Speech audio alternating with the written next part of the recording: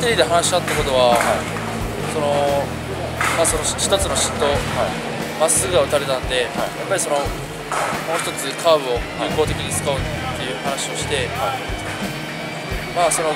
海外のアメリカの選手は、その変化球に全然合ってないんでその海外の選手が合ってなかったまっすぐを余計に有効に使うのは、やっぱり変化球を使うしかないと思ったんで、やっぱり変化球を使うことで、そのまっすぐをもっといかに有効的に使えるかっていうのをしっかり考えて投げました。縦のそのカーブであったり、まあ、カットボールを投げて、まあ、相手バッターも迷ってくれたんで、その際どいコースに決まったストレートも見逃してくれたと思います。まあ、あまり意識はしなかったんですけど、まあ、その対戦するバッター対戦するバッターで、まあ、その全員では打たれないと思うっていう意識で、